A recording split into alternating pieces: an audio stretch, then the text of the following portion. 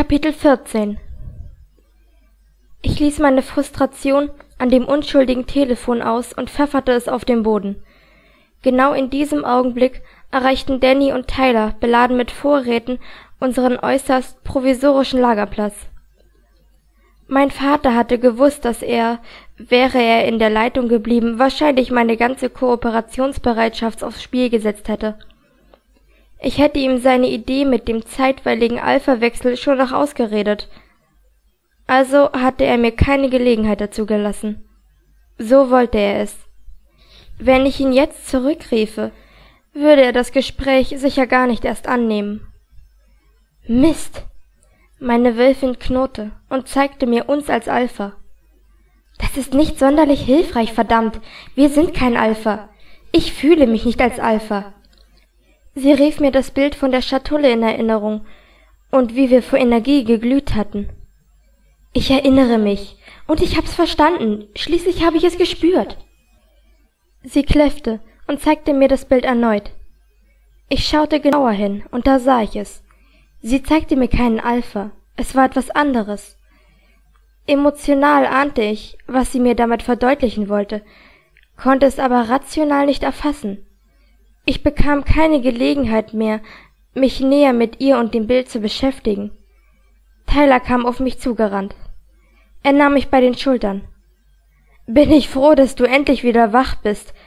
Echt, das war voll der Wahnsinn. Und gleichzeitig war es so schräg, dass du mich zu Tode erschreckt hast. Lass das in Zukunft lieber, ja? Dich in Gefahr zu sehen, ist, als würde man zuschauen, wie jemand einen Welpen ertränkt. Ich musterte ihn forschend, brachte aber kein Wort heraus. Er würde mit Dads Entscheidung nicht glücklich sein, und ich wollte unsere Beziehung zueinander nicht aufs Spiel setzen. Ich liebte meinen Bruder. Was ist los? Sein Blick ruhte auf mir, und Tyler las in meinem Gesicht wie in einem offenen Buch. Dann sah er auch noch das Telefon im Dreck liegen. Du hast mit Dad gesprochen. Er ließ meine Schultern los. Als ich nicht antwortete, fragte er mich über unsere Gedankenverbindung. Was ist los? Geht es dir nicht gut? Haben sich Komplikationen eingestellt, wegen des Gifts, meine ich. Ist es immer noch in dir? Die Biester hingen überall an dir. Ich war nicht sicher, ob du es schaffen würdest, obwohl du ja so steif und fest behauptet hast. Mir geht's gut. Es geht nicht um das Gift, aber es gibt tatsächlich ein Problem.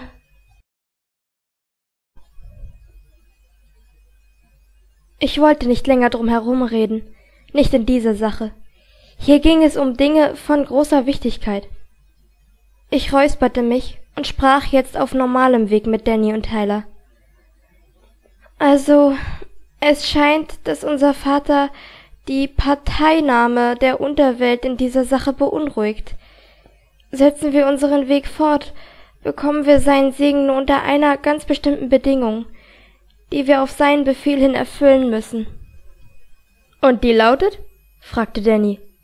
Ich bin sofort bereit, mit dem anderen die Vorhut für dich zu machen. Sollten wir wieder auf Dämonen stoßen, wovon mit Sicherheit auszugehen ist, treffen wir dann zuerst auf sie. Selbst wenn wir das nicht überleben, haben wir dir wenigstens den Weg freigemacht und du kommst besser voran. Ich schüttelte den Kopf. Nein, darum geht es nicht. Jetzt spuck's schon aus, sagte Tyler und sah mich mit zusammengekniffenen Augen an. Mach's nicht so spannend. Ähm, anscheinend. Ich räusperte mich erneut.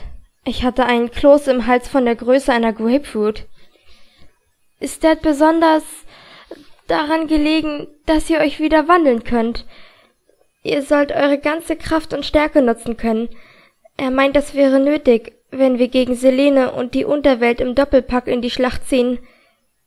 Das leuchtet mir ein, meinte Tyler sofort. Aber wie bewerkstelligen wir das? Wir sind eingeschworene Selektivhelfer. An diesen Eid sind wir gebunden. Und wir dürfen uns nicht wandeln. Ich straffte die Schultern und holte tief Luft. Wir brechen ihn, erklärte ich mit fester Stimme. Mein Tonfall ließ mehr Zuversicht erkennen, als ich tatsächlich verspürte.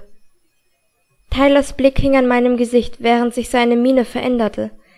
Eben noch hatte er lebhaft gewirkt, jetzt überwog deutlich Anspannung. Was genau hat Dad denn nun gesagt? Raus damit. Wie soll das seiner Ansicht nach gehen? Schließlich ist er nicht hier, um uns von dem Schwur zu entbinden.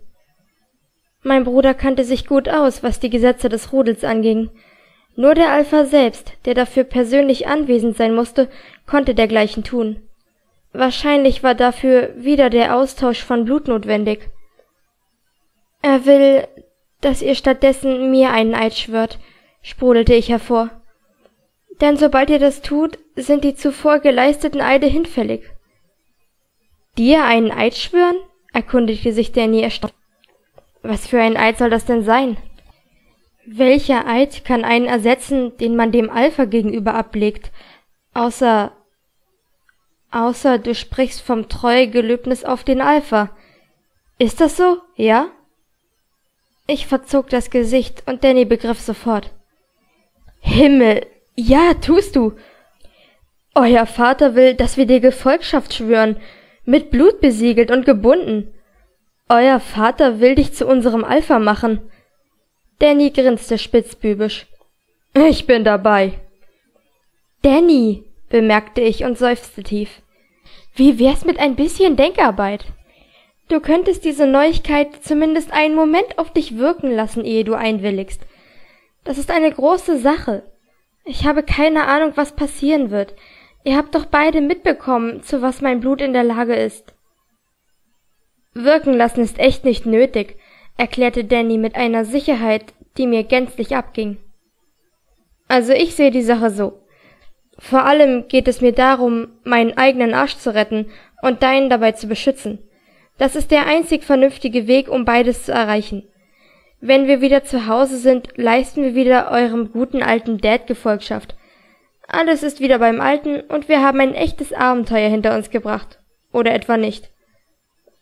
Der Gefolgschaftseid kann nur klappen, wenn deine Wölfin unseren Wölfen im Rang überlegen ist. Ganz offensichtlich hatte Tyler mit Dads Befehl Schwierigkeiten, obwohl er wusste, dass er von seinem Alpha kam. Die Sache schmeckte ihm nicht. Sich einer weiblichen zu unterwerfen, war ein Tiefschlag, wie er ihn noch nie hatte einstecken müssen. Bis jetzt. Er versuchte damit umzugehen wie ein Champion.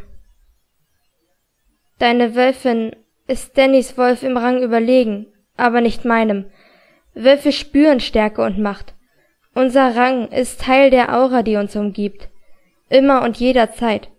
Wir haben doch darüber gesprochen, kurz bevor wir aufgebrochen sind. Selbst wenn du tatsächlich im Rang über mir stündest, riechst du nicht wie ein Alpha. Der Gefolgschaftseid kann so nicht klappen, ganz sicher nicht. Genau darauf wollte auch Dad hinaus, erklärte ich ihm gedanklich. Niemand außer ihm sollte hören, was ich meinem Bruder zu sagen hatte. Er ist der Meinung, es habe nichts mit Rang zu tun.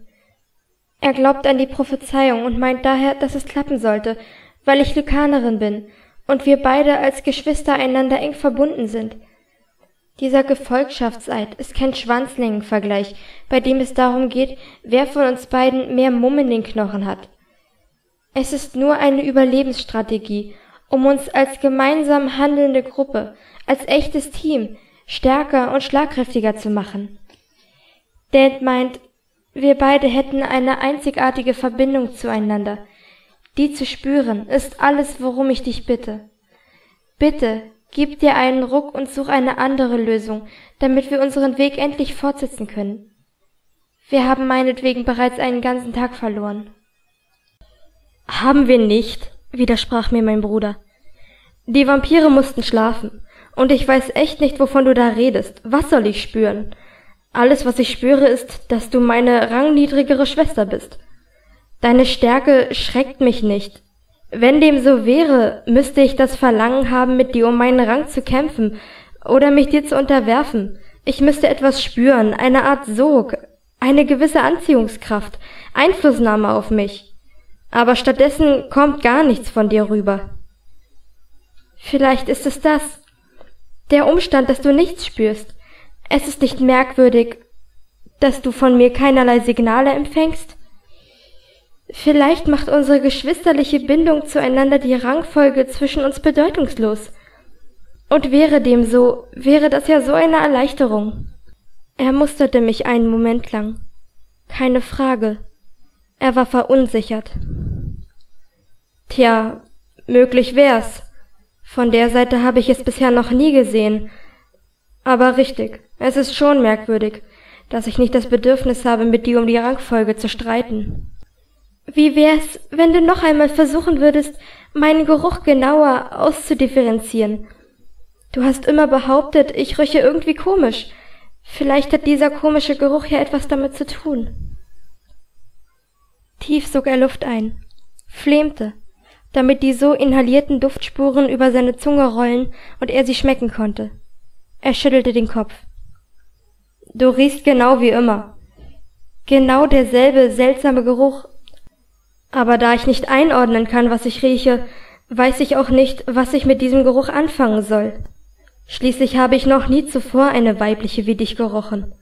Dein Geruch hat eine Unternote von Ozon oder etwas ähnliches. Ozon? Das hatte ich nicht erwartet. Ich versuchte eine neue Taktik. Du musst ja nicht bei mir bleiben. Dad kann dich nicht dazu zwingen, mir Gefolgschaft zu schwören. Ich weiß, dass Selektivhelfer jederzeit von ihren Aufgaben entbunden werden können. Von Anfang an war mir klar, dass meine Suche nach Rook keine leichte Sache werden würde. Aber ich habe weder dich noch Danny in Gefahr bringen wollen. Der Gedanke, ihr beide könntet meinetwegen draufgehen, macht mich ganz krank. Ich verlasse dich nicht, rief er laut, und ihm war anzusehen, wie erschreckend er meinen Vorschlag fand. Dann haben wir keine andere Wahl, hielt ich dagegen. Dad sagt, wenn wir weiter wollen, geht das nur über den Gefolgschaftseid oder gar nicht. Für etwas anderes gibt er seine Zustimmung nicht. Und ich bin auch der Meinung, dass ihr eure volle Kraft und Stärke braucht, wenn ihr eine Überlebenschance haben wollt. Danny klopfte Tyler freundschaftlich auf den Rücken. Wird schon schiefgehen, Kumpel. Es ist dir nur für kurze Zeit, danach kommt alles wieder ganz schnell ins alte Lot. Niemand wird dir einen Strick daraus drehen, dass du deine Schwester hast beschützen wollen. Immerhin ist sie von deinem Blut. Wenn der Alpha befiehlt, vor ihr den Schwur abzulegen, tu es. Tyler starrte mich an. In seinen Augen blitzte es gefährlich. Der Wolf war unruhig. Von mir aus. Aber ich bleibe dabei. Es wird nicht funktionieren, weil es das gar nicht kann. Der Blutbund ist nichts Materielles, sondern Magie. Wählt man seinen Alpha und überantwortet sich ihm, muss dessen Blut zwangsläufig größere magische Macht besitzen. Die eigene magische Energie wird das sofort bemerken, und sie wird sich nicht an eine schwächere Magie binden. Ganz ehrlich? Probieren wir es, und es funktioniert nicht. Bin ich die Erste, die darüber erleichtert ist, gestand ich. Aber dann haben wir unser Bestes getan und können die Suche nach Rook fortsetzen. Wenn mein Vater befahl, es zu tun, und wir taten wie geheißen, aber es funktionierte nicht, konnte uns niemand die Missachtung von ehernen Gesetzen vorwerfen. Also, wie liegt man ihn nun ab, diesen Gefolgschaftseid? Tyler schlüpfte aus dem Rucksack und stellte ihn auf den Boden ab. Dann griff er nach seinem Gürtel. Es ist keine sonderlich komplizierte Zeremonie, wie gesagt, das Blut ist es, das den Bund herstellt. Man selbst hat nicht viel zu tun. Man spricht die Eidesformel, Worte und Blut werden eins, und dann vollzieht sich die Bindung oder eben nicht. Das ist der Grund, warum Alpha-Wölfe von sich aus keine Anhänger um sich scharen. Alpha muss man sein, der Rest ergibt sich von selbst. Es gibt nur wenige im Rudel, die sich überhaupt zum Alpha eignen. Neugierig geworden, kamen nun auch Naomi und Ray näher. Aber sie schwiegen, kommentierten nichts, stellten keinerlei Fragen. Kurz überlegte ich, was ihnen wohl gerade so durch den Kopf ging. Erst jetzt fiel mir auf, dass Naomi ohne Emmen erschienen war. Vielleicht hatte er seine Drohung wahrgemacht und unsere kleine Expedition wortlos verlassen. Tyler und Danny stellten sich so auf, dass wir drei in etwa einen Kreis bildeten. Mein Bruder zog das Jagdmesser aus der Scheide an seinem Gürtel. Sprich mir einfach die Worte nach, die ich. Nein, halt! Ich packte ihm am Handgelenk. Ganz unerwartet verspürte ich Angst, wie einen Stich mitten ins Herz. Meine Wölfin heulte. Etwas veränderte sich gerade. Ich hatte keine Ahnung, was das war, aber es fühlte sich an, als ob es wichtig wäre. Tyler, sagte ich, und mein Tonfall klang selbst in meinen Ohren ein wenig verzweifelt. Du musst mir versprechen, dass du es nur tust, wenn du es wirklich willst. Von dir aus. Wenn das Ganze nicht funktioniert, auch in Ordnung, aber keiner von uns weiß, was mein Blut in euch bewirkt. Wir alle müssen einander versprechen, dass wir mit den jeweiligen Folgen zurechtzukommen bereit sind. Ich will nicht, dass der Gefolgschaftseid uns beide entzweit. Schlagartig wechselte Tylers Augenfarbe von braun zu bernsteinfarben. Er war aufgewühlt. Verstanden. Jess, mach dir keine Sorgen deswegen. Ich glaube zwar nicht, dass du ein Alpha bist, aber ehrlich gesagt weiß ich auch gar nicht, was du bist. Also bin ich dazu bereit, es zumindest zu versuchen. Was immer geschieht, geschieht. Aber ich verlasse dich nicht. Und der tat recht. Wir haben keine Chance, wenn wir nicht die Spielregeln ändern. Seit die Unterwelt mit von der Partie ist, haben sich die Einsätze in diesem Spiel gewaltig geändert. Ich tue das aus freien Stücken, und ich bin bereit, mit den Folgen zu leben. Wenn du kein richtiger Alpha bist, warf Danny ein, würde ich für meinen Teil gerne wissen, was du dann bist. Also weißt du, ich hatte ehrlich nicht mehr so viel Spaß, seit ich in den Whitehall-Palast eingestiegen bin, um Königin Elizabeth eine heiße Überraschung zu bereiten. Damals war sie mit diesem Blödmann Dudley liiert, aber kaum, dass er weg vom Fenster war, war sie wie Wachs in meinen Händen. Das war schon eine besondere Romanze, die wir zwei danach hatten. Ich habe mir immer gern eingebildet, sie hätte meinetwegen nie geheiratet. Er zwinkerte mir zu und senkte den Blick auf sein Gemächt. Danny, du überrascht mich immer wieder. Die Königin von England? Die, nach der ein ganzes Zeitalter benannt ist? Ich schüttelte den Kopf. Danny war wie kein zweiter in der Lage, eine Situation, die angespannte Atmosphäre zu nehmen. Gerade jetzt war ich ihm dafür sehr dankbar. Also okay, sagte ich und ging damit wieder zur Tagesordnung über. Dann mal los. Ich ließ Tylers Handgelenk los. Er hob die Klinge und sagte, ich spreche dir die Eidesformel vor, während ich einen Schnitt in Dannys Handfläche setze. Er soll dir als erster Gefolgschaft geloben. Und das ist die ganze Zeremonie? Sonst ist nichts weiter nötig? fragte ich. Das kommt mir arg schlicht vor. Mehr ist nicht nötig, nein, bekräftigte Tyler. Die richtigen Worte und das richtige Blut, das ist alles. Bist du bereit? Ja, antwortete ich so bereit wie möglich. Vor meinem inneren Auge sah ich, wie meine Wölfin hin und her lief, aber es war keine Unruhe, sondern Ausdruck geduldigen Abwartens. Weißt du, was passieren wird? Sie schnappte mit der Schnauze in die Luft, dann hob sie den Kopf. Ich deutete das als vielleicht. Tyler sprach mir die Worte vor. Mit Leib und Geist erfrage ich von dir, er schnitt Danny in die Handfläche, und ich wiederholte die Worte. Mit Leib und Geist erfrage ich von dir, gelobst du mir Gefolgschaft aus freien Stücken? Gelobst du mir Gefolgschaft aus freien Stücken? fragte ich Danny und blickte ihm direkt in die Augen. Danny antwortete. Aus freien Stücken gelobe ich dir Gefolgschaft mit Leib und Seele. Er senkte den Blick zum Zeichen seiner Unterwerfung. Ich streckte meine Hand aus, und Tyler führte die Klinge auch über meine Handfläche. Er schnitt tief, und vor Überraschung zuckte ich ganz leicht zusammen. Dann sprach ich die Worte nach, die Tyler mir vorsagte. Durch das Blut, das sich mischt, sind wir einander verbunden. Mit diesen Worten griff ich nach Dannys Hand, damit Schnitt auf Schnitt zu liegen käme. Tyler nannte den letzten Satz der Eidesformel. Meines Rudels Teil bist du. Ich bin dein Alpha. Meines Rudels Teil bist du. Und ich bin dein Alpha, rezitierte ich. In der Sekunde, da sich unsere Handflächen berührten und mein Blut mit Dannys in Kontakt kam, fuhr ein Energiestoß durch mich hindurch. Alles Denken war wie ausgelöscht und ich handlungsunfähig. Wie ein Lichtbogen sprang die Energie auf Danny über und von ihm wieder zurück zu mir. Mein lieber Schwan, brüllte Danny. Die Verbindung war derart stark, dass die sich entladene Energie uns beide rücklings taumeln ließ und ich Dannys Hand loslassen musste, so wie er meine. Ich fing mich und beugte mich vor, die Hände auf die Oberschenkel gestützt und schnappte erst einmal nach Luft. Danny hatte es von den Füßen gerissen. Ich hob die Hand und begutachtete meine Handfläche. Der Schnitt war bereits vollständig verheilt. Ich wandte den Kopf und suchte Tylers Blick. Ist das immer so? Scheiße, nein, entfuhr es ihm fassungslos. Danny, was ist passiert? Was hast du gespürt?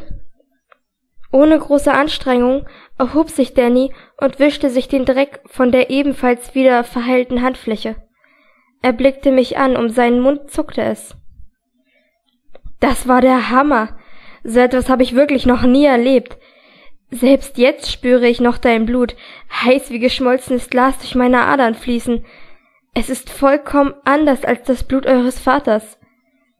Er wandte sich an Tyler, der wissensdurstig auf mehr Details wartete. Du hattest recht. Es ist ein Band von ganz anderer Beschaffenheit.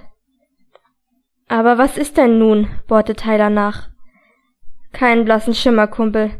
Aber ich bin wie elektrisiert. Ich fühle mich, als könnte ich es mit der ganzen Welt aufnehmen. Gib mir nur noch ein bisschen Zeit, dann bin ich sogar bereit, dich herauszufordern. Er ballte die Fäuste und öffnete sie wieder. Tyler war bestürzt. Du willst mit mir kämpfen? Um die Rangfolge? Echt? Mein Wolf weiß ganz genau, wie stark du bist, und momentan bin ich dir kräftemäßig überlegen. Danny lachte. Für alles gibt es ein erstes Mal, nicht wahr? Tylers Gesichtsausdruck wechselte schlagartig, als sein Wolf Dannys Kraftpotenzial zum ersten Mal witterte. Teufel aber auch, hauchte er. Tja, warten wir es ab, wie wir zueinander stehen, wenn du ihr Blut in dir hast, frotzelte Danny. Aber selbst wenn sie kein Alpha ist, ist sie jetzt eindeutig meine Leitwölfin. Meine Bindung an euren Vater wurde in dem Augenblick gelöst, in dem ihr Blut mir die Hand versenkt hat. Ich richtete mich auf und blickte Tyler geradewegs in die Augen. Wir lassen das. Ich kann dir unmöglich mein Blut geben. Tyler schien immer noch verstört. Tyler, sagte ich und wedelte mit der Hand vor seinem Gesicht. Hallo. Wir rufen Dad an und schildern ihm, was passiert ist. Er wird uns nicht zwingen, den Gefolgschaftseid zu vollziehen. Es ist viel zu riskant. Tyler starrte mich an, blinzelte ein paar Mal und erwiderte dann Also dann erlässt er es uns. Okay. Aber was dann? Es gibt keine Möglichkeit, meinen Schwur als Selektivhelfer zu brechen, außer es auf genau diese Weise zu tun, nämlich indem ich die Gefolgschaft schwöre. Ich habe dir schon gesagt, dass ich dich nicht alleine weitergehen lasse. Eigensinnig presste er die Lippen aufeinander. Wir ziehen das jetzt durch. Vor Überraschung klappte mir der Kiefer herunter. Das ist nicht dein Ernst. Ich habe gerade Danny mit ein paar Tropfen Blut zu Boden geschickt. Wir machen es nicht. Punkt. Wäre ich immer noch fünf Jahre alt, hätte ich jetzt mit dem Fuß aufgestampft. Jazz, entgegnete Tyler mit tiefer, leiser Stimme. Ich habe es jetzt endlich begriffen. Das, was Dad gemeint hat. Was soll das denn jetzt wieder heißen? Was meinst du mit endlich? Wir reden darüber seit ziemlich genau drei Minuten, widersprach ich. Was kannst du in derart kurzer Zeit herausgefunden haben? Außer vielleicht, dass mein Blut gefährlich für andere ist und ich ein Schild um den Hals tragen sollte mit der Aufschrift Abstand halten. Dannys Geruch hat sich verändert. Er zeigte auf seinen Freund. Er verströmt jetzt eine minimale Spur Ozon. Es ist nur ein Bruchteil von dem, was deine Witterung ausmacht, kaum wahrnehmbar, aber es ist unverkennbar. Ich schnüffelte, was völlig sinnlos war. Ich roch das Ozon nicht an mir selbst, ich würde diese Note an Danny ebenso wenig wahrnehmen, denn auch an ihm war es mein Geruch. Wenn man sich an seinen Alpha bindet, riecht man danach normalerweise nicht wie der Alpha. Ach ja? meinte ich schnippisch. Was soll das denn jetzt wieder heißen? Es heißt, dass du dich von einem Alpha unterscheidest, genau wie ich es von Anfang an gesagt habe. Danny hat etwas von dir jetzt in sich. Das bringt mich zu folgendem Schluss. Wir brauchen den Gefolgschaftseid nicht zu leisten, damit die Sache zwischen uns funktioniert. Wie bitte? Jetzt verstehe ich gar nichts mehr, beschwerte ich mich und stemmte die Hände in die Hüften. Wie zum Teufel kommst du darauf? Das kannst du doch gar nicht wissen. Ich jedenfalls stehe immer noch voll auf dem Schlauch. Ich weiß es, weil ich mich ein bisschen mit Genetik auskenne. Schon bei normalen Geschwistern ist das Erbgut oft sehr ähnlich. Wir sind Zwillinge, wenn auch Zweieiige, und sind zur gleichen Zeit im gleichen Mutterleib herangewachsen. Das heißt, wir werden uns nicht nur genetisch wirklich ähnlich sein, sondern auch epigenetisch. Und was bedeutet das jetzt? Das heißt, dein Blut ist meinem so ähnlich, dass es bei mir längst nicht so viel auslösen wird wie bei Danny. Und weil du kein Alpha bist, gibt es auch keinen Grund für den Gefolgschaftsschwur. Aber erst als wir die Eidesformel ausgesprochen haben, hat es Danny weggerissen. Davor ist nichts passiert, wagte ich anzumerken. Danny gluckste. Also weggerissen ist ein bisschen arg dramatisch. Ein, sagen wir, ein Energiestoß besonderer Heftigkeit, der allerdings nicht länger als einen Sekundenbruchteil gedauert hat, hat mich kalt erwischt und hinten überfallen lassen. Aber wie du siehst, habe ich mich vollständig von diesem Schrecken erholt. Nein, im Gegenteil. Ich fühle mich besser denn je. Danny hat bisher keinerlei Blutsbande an dich gehabt, erklärte Tyler. Lass es mich so ausdrücken, Jess. Wir zwei sind zu eng miteinander verwandt, um uns im Rang zu unterscheiden, verstehst du? Du warst auf der richtigen Spur. Der Schlüssel zu allem ist, dass dein Geruch in mir nichts auslöst. Wenn wir jetzt Blut miteinander mischen, wird die Verbindung zwischen uns die höchste mögliche Ebene erreichen. In seinen Augen blitzte es bernsteinfarben. Dein Blut wird bei meinem genug Veränderung auslösen, um die eingeschworene Verbindung zu meinem Alpha zu unterbrechen, was Dad dann auch sofort spüren wird. Wie kannst du dir da so sicher sein zum Henker? Weil du nicht auf dieselbe Weise mit Dad verbunden bist wie ich, bist du in deiner Lykaner-Gestalt, kann er dich nicht erreichen und auch nicht kontrollieren. Tyler fuhr sich durchs Haar und seufzte tief, offenkundig frustriert. Keine Ahnung, warum ich so lange gebraucht habe, um das zu begreifen. Etwas von der Magie in deinem Blut muss irgendwie die Allverbindung verhindern. Jedenfalls gibst du genau das an mich weiter, wenn wir unser Blut mischen. Also für mich, mein Lieber, klingt das immer noch viel zu riskant, bemerkte ich. Was, wenn du das Band zu Dad nicht mehr erneuern kannst? Tyler zuckte mit den Schultern. Klar, es ist durchaus möglich, dass das passiert. Aber unser Blut zu mischen kommt mir einfach richtig vor. Wie etwas, das uns die ganze Zeit über gefehlt hat. So fühlt es sich an, verstehst du? Solange Dad lebt, werde ich das Rudel sowieso nicht übernehmen. Aber ich bin immer noch sein Sohn, trage sein Erbgut in mir. Daran kann nichts und niemand etwas ändern. Mal ehrlich, Jess, wenn du um mich herum bist, ist mein Beschützerinstinkt so groß, dass er mich fast handlungsunfähig macht. Das war schon immer so. Seit wir klein waren, bin ich vor Sorge um dich immer fast wahnsinnig geworden. Wenn ich hier jetzt zwischen dir und Dad wählen muss, wähle ich dich. Mit einem Mal schlug mir das Herz bis zum Hals. Tyler, haspelte ich hervor, ohne wirklich zu wissen, was ich sagen wollte. Das ist alles zu viel für mich. Es ist einfach eine Nummer zu groß, als ob du zu viel für mich aufgeben würdest. Ich will nicht dafür verantwortlich sein, dass du deinen Rang im Rudel verlierst. Aber er hatte recht. Etwas an der ganzen Sache kam auch mir stimmig vor. Doch, richtig, in dem Band zwischen uns hatte all die Jahre etwas gefehlt. Bevor ich mir noch mehr Gegenargumente einfallen lassen konnte, hatte Tyler sich die Hand aufgeschlitzt. Den Blick fest auf sein Gesicht gerichtet, streckte ich ihm die Hand entgegen. Fein säuberlich schnitt er mir in die Handfläche. Dann los, sagte er und nahm meine Hand. Er schloss die Augen und ich folgte seinem Beispiel. In dem Augenblick, in dem unser Blut sich mischte, rasten seine Gefühle wie eine Welle durch mich hindurch. Es war ein Moment großer Klarheit. Alles, was wir als Kinder gemeinsam erlebt hatten, spulte sich mit Lichtgeschwindigkeit vor meinem inneren Auge ab. All die Streitigkeiten, die Raufereien, die Liebe, die Geborgenheit. Tyler hatte recht. Mit ihm mein Blut zu mischen, war ganz anders als mit Danny. Dannys Band zu mir hatte von meiner Seite etwas Besitzergreifendes gehabt und diese Note auch behalten. Mit Tyler verbunden zu sein, fühlte sich vertraut an, wie zu Hause zu sein. Jess, meinte Tyler da. Ich kann über dein Blut auch Dads Gefühle empfinden. Sicher geht es ihm gerade genauso. Ganz sicher sogar. Über mein Blut waren wir nun alle drei miteinander verbunden. Es ist alles so lebendig, stellte ich mit leiser Stimme fest. Ich war ganz ergriffen. Heiß wie Sommerhitze flirrte Tylers Blut in meinen Adern, trug einen Teil von ihm in mich hinein, ebenso wie umgekehrt ich nun über mein Blut in ihm war. Im nächsten Augenblick, es war vielleicht eine Minute vergangen, riss uns ein Energieimpuls auseinander und wir taumelten voneinander fort. Wieder rang ich von übergebeugt nach Atem und musste mich auf den Oberschenkeln abstützen. Tyler war nur ein paar Schritte entfernt. Seine Augen waren wolfsgelb. Die Allverbindung zu Dad ist gelöst, erklärte er. Aber über dein Blut bekomme ich immer noch mit, was er fühlt. Ich nickte. Als Dad und ich den Blutschwur geleistet haben, haben wir uns auch auf einer anderen Ebene der Verbundenheit zueinander wiedergefunden. Über das Blutband zu ihm kann ich seine Gefühle spüren, so wie deine jetzt. Ich spüre auch Danny, aber viel schwächer als Dad und dich.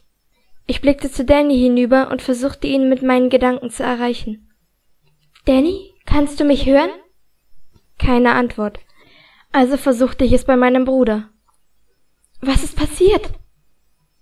Ich bin nicht sicher, aber ich fühle mich stärker, genau wie Danny gesagt hast.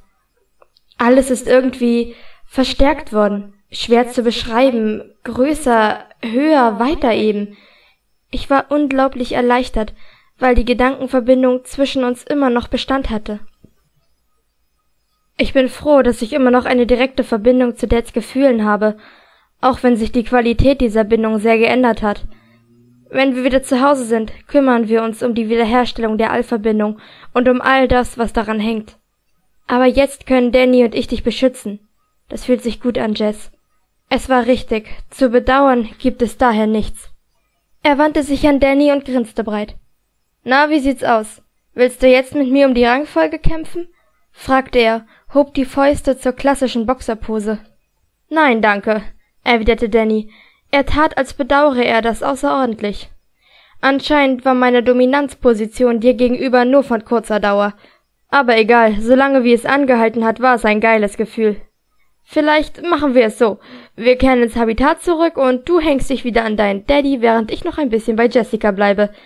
Das würde mir richtig gut in den Kram passen. Ich ging und holte meinen Rucksack. Wie ich sah, stand Naomi bereits am Waldrand und wartete. Wir hatten unsere Suche ja auch lange genug unterbrochen. Siehst du noch geflügelte Teufel da draußen? fragte ich sie. Möglicherweise schickte die Unterwelt ein Ersatzkontingent an die Grenze von Selines Einflussbereich. Naomi wandte sich um und bedachte mich mit einem nachdenklichen Blick. No, antwortete sie. Ich glaube, sie sind fort. Ich hiefte mir den Rucksack auf den Rücken und drehte mich zu Way um, der die ganze Zeit auf der Kühlbox gesessen und keinen Mucks von sich gegeben hatte. Wer konnte schon wissen, was ihm alles durch den Kopf ging? Ich jedenfalls war an seinen sicherlich tiefschürfenden Gedanken herzlich wenig interessiert. Ich hatte nicht einmal mehr genug Energie, um die Fragen zu beantworten, die er mir gewiss gern gestellt hätte. Nicht genug Energie, das war die Ausrede des Jahres. Um Energie ging es hier nicht. Ich war mir ziemlich sicher, dass ich auf seine Fragen überhaupt keine Antworten hatte. Null. Nada. Er stand auf. Also, Hennon, was für nette kleine Überraschungen erwarten uns denn noch da auf dem Berg? Ich habe nicht den Hauch einer Ahnung, Ray, aber keine Sorge. Es dauert nicht mehr lange und wir finden es heraus.